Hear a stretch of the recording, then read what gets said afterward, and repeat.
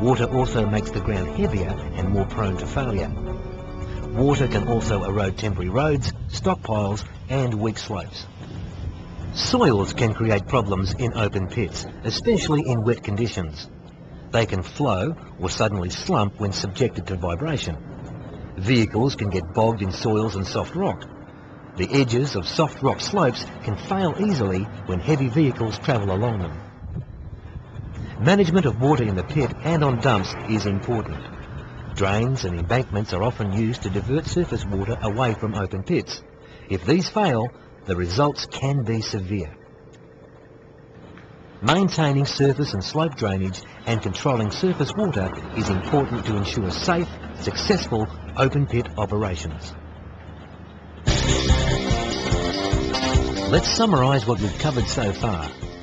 The mining cycle has the following tasks. Drilling, blasting, digging, loading and hauling, batter cleaning, support and drainage are installed when required. Monitoring of slope conditions takes place throughout the mining cycle. Any size of slope failure can be a hazard. The risk is not just the rocks in the slope above, but also what people are doing and where they are working. Water can also cause stability problems. It must be managed by maintaining adequate surface drainage.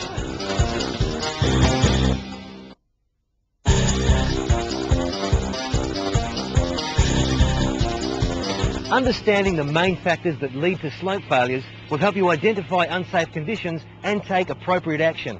In this section, we will look in detail at the different types of slope failures, what causes them, and what to look for. Slopes in pits are usually made up of different types of rock.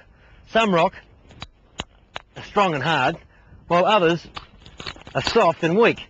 In fact, rock strength in open pit slopes can vary between these two extremes.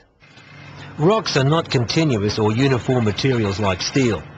If you look carefully, you will find that there can be many natural fractures in each of the rock types. These natural fractures play a key role in the failure of pit walls. Some of the small fractures are called joints. They can combine to produce a small failure inside a batter or large multi-batter failures. Other fractures, like faults, can be very long